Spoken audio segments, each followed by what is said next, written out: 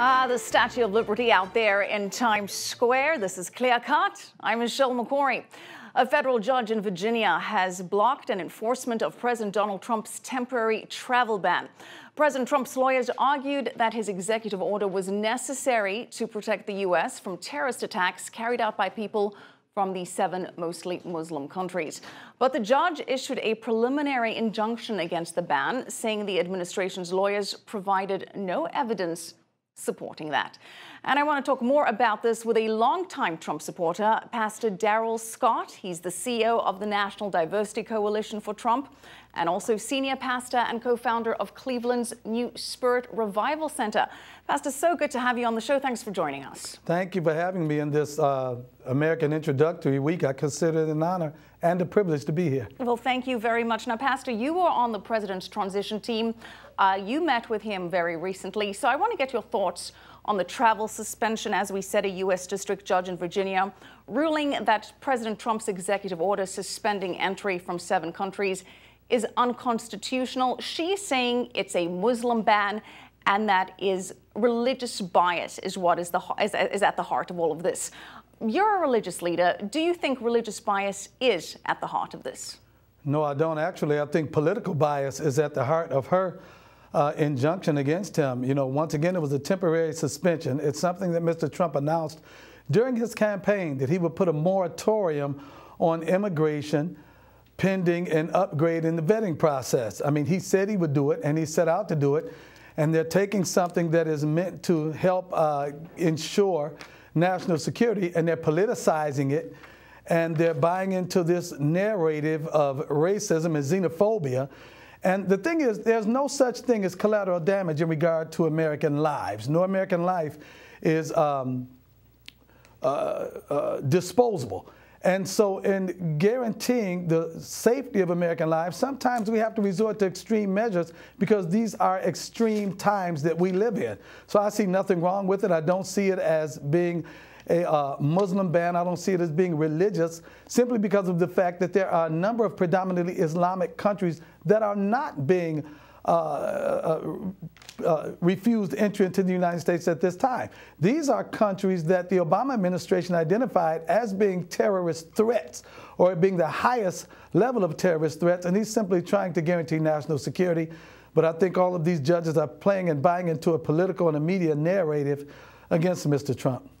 Well, I want to get your perspective on, on something else. Being a religious leader, the issue of Jerusalem, a city with major importance for many religions. Of course, we've got uh, the president scheduled to meet with the Prime Minister of Israel, Benjamin Netanyahu. Do you think the Trump administration should move the U.S. Embassy to Jerusalem? And if so, why? Well, speaking as a private citizen and as a spiritual leader of Christians, yes, I do. Jerusalem has historically been the, uh, I mean, Tel Aviv is the capital of Israel, but I really believe in the eyes of God, Jerusalem is the capital of Israel. And Jerusalem has always been uh, in the heart of God, and it's a place of special significance. And I can think of no better place than Jerusalem uh, for symbolic purposes and also for political purposes to be the, the capital and to be the uh, location of the U.S. Embassy. I'm completely behind that idea, 100%. And I hope Mr. Trump does move the embassy to Jerusalem. Well, back home, uh, let's focus on an issue that's close to your heart. The president has highlighted Chicago and the violence over there, saying that it is totally out of control. Now, you two are working on a way to address that. Let's talk about it. Well, yes, we are. We're going to address it.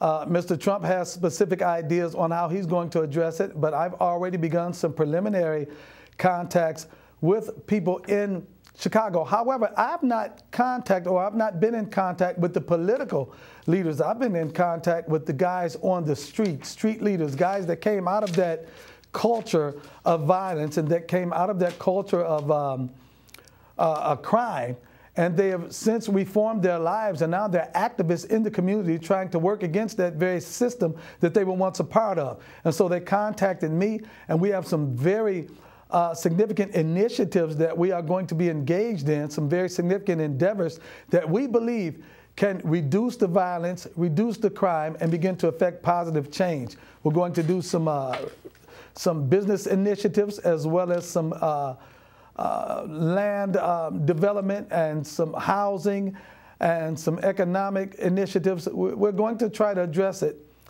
as, as, as, as apolitical as possible.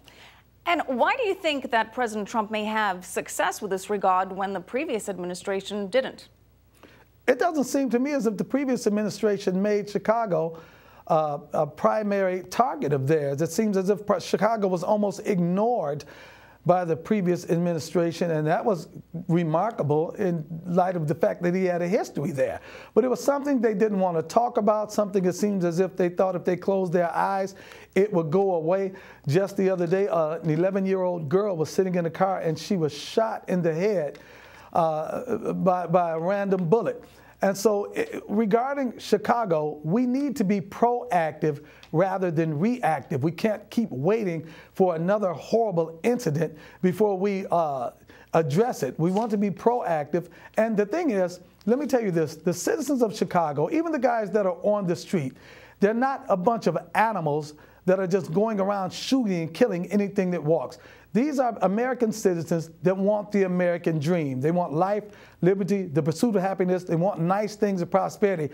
They want they have the same goals, but they have different methods of obtaining them simply because they've been disenfranchised. All right. Thank you so much, Pastor Darrell Scott. Thanks for joining us. Well, illegal